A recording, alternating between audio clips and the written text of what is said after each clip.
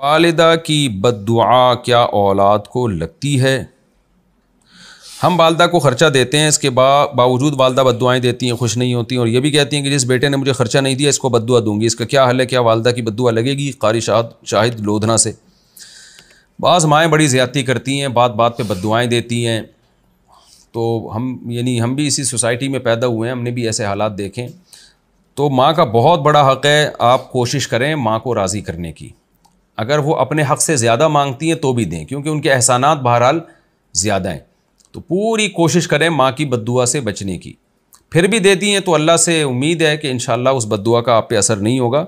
बाकी जो माएँ औलाद को बिला वजह बदुआएँ देती हैं तो उनके लिए भी हदीस में वईद है। आपने फरमाया, औरतें जहन्नम में जाएँगी, उसकी एक बहुत बड़ी वजह क्या है? तुखिर लान, यानी कसरत से जाएँगी जहन्नम में। उसकी वजह है कि वो लान तान ज़्यादा करती हैं बदुआएँ बात बात पे देती हैं।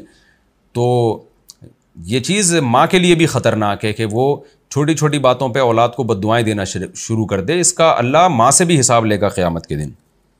बहरहाल आप फिर भी कोशिश करें अपनी वालदा को जिस हद तक खुश रख सकते हैं, खुश रखें उनको।